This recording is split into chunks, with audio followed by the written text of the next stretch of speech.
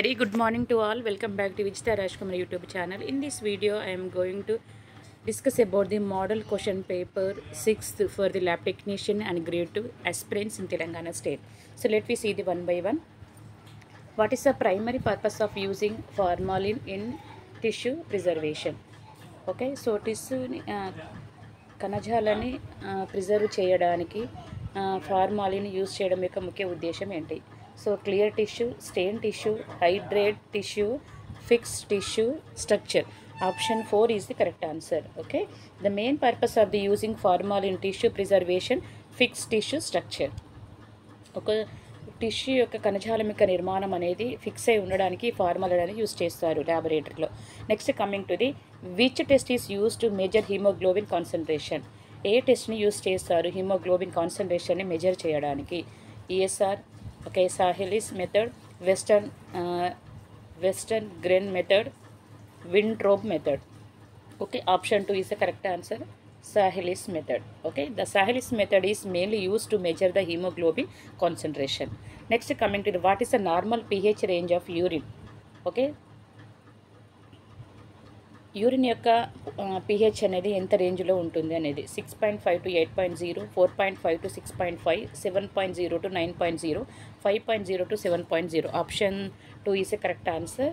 Four point five to six point five. This the correct answer for the normal pH of the urine next coming the what type of WBC is in allergic reactions eosinophils basophils lymphocytes neutrophils what type of WBC ఏ కణ ఏ రకం యొక్క తిరరక్త కణం అనేది allergic రియాక్షన్స్లో involve అయి ఉంటుంది.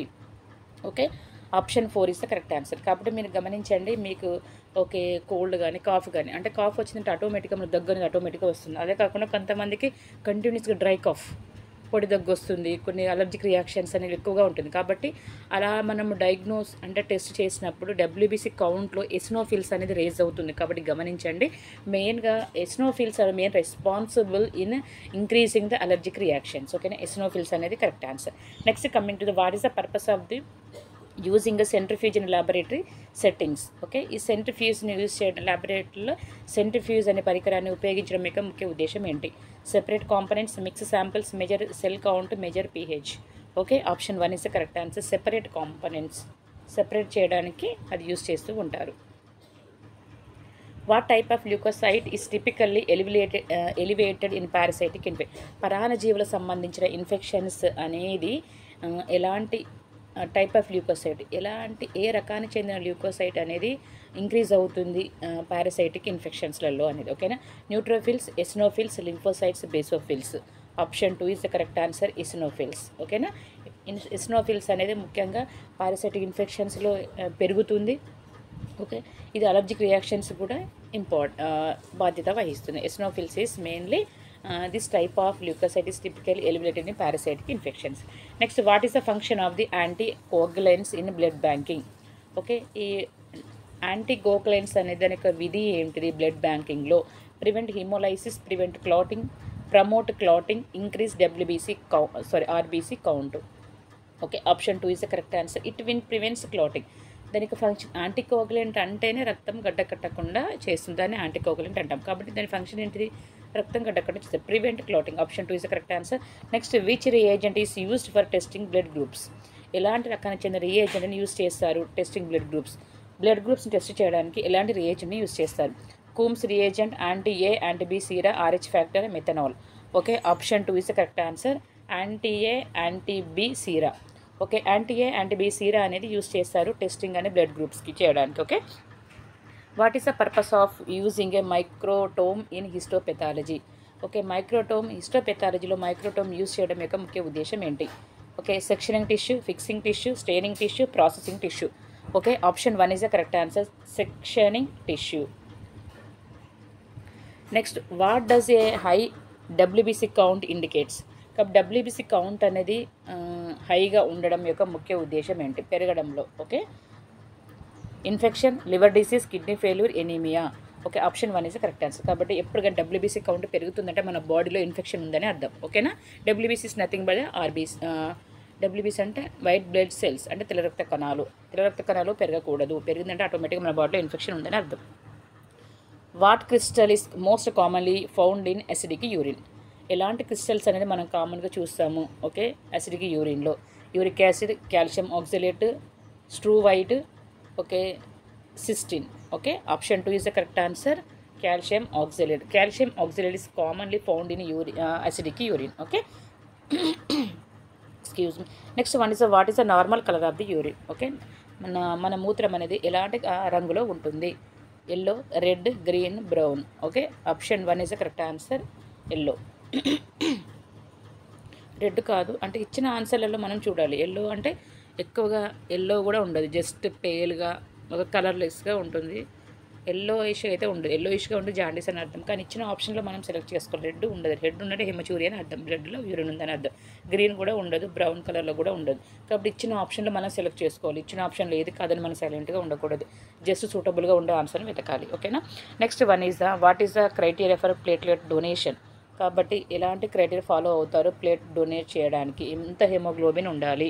Platelet ఉండాలా WBC ఉండాలా ఈఎస్ఆర్ ఇంత అంటే first criteria for the platelet donation. కాబట్టి రక్త కణాలు ఎక్కించాలంటే దానం చేయాలంటే ఈ క్రైటీరియా ఫాలో ఫాలో అవ్వాలి అని. Okay? So థర్టీన్లో option two is correct answer. Platelet count okay? Greater than one lakh fifty thousand. Okay? Microlitres అంతకంటే ఎక్కువగా ఉండాలి. వన్ ల్యాక్ ఫిఫ్టీ థౌసండ్ కంటే ఎక్కువగా ఉన్న వాళ్ళు మాత్రమే బ్లడ్ డొనేట్ చేయడానికి అంటే రక్త కణాలు డొనేట్ చేయడానికి అవకాశం ఉంటుంది. Next what is the minimum haemoglobin level required for the blood donation? Okay minimum haemoglobin ఎంత హీమోగ్లోబిన్ లెవెల్ ఉండాలి ఎంత required for blood donation? Blood donation చేయాలంటే platelet one lakh fifty thousand ఉండాలి అదేవిధంగా హీమోగ్లోబిన్ ఎంత ఉండాలి? ఓకేనా? Okay ten grams twelve grams thirteen point five grams fourteen grams. కాబట్టి option three is the correct answer.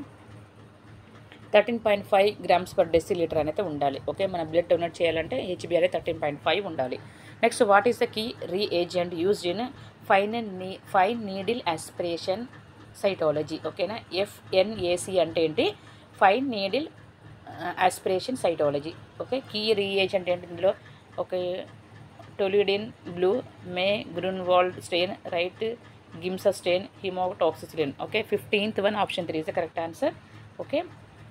Wright Giemsa stain next one is what is the purpose of the immuno immunohistochemistry okay immunohistochemistry యొక్క ఉద్దేశం ఏంటి direct protein expression identify bacterial infections detect carbohydrate metabolism assess enzyme activity sixteenth one is the correct answer one is the correct answer so the main purpose of the immunohistochemistry is that to detect protein expression.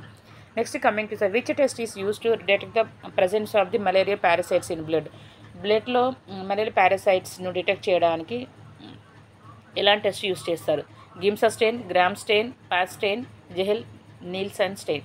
Okay seventeenth one option one is the correct answer Giemsa stain is mainly use to test detect the presence of the malaria parasites in the blood బ్లడ్లో malaria parasites ఉన్నది detect చేయడానికి Giemsa stain use చేస్తారు. Okay what is the normal adult haemoglobin range okay పెద్దవాళ్ళలో haemoglobin ఎంత percentage ఉండాలి? Ten to twelve twelve to sixteen sixteen to eighteen eighteen to twenty. Okay eighteenth one option two is a correct answer twelve to sixteen grams per decilitre ఉండాలి.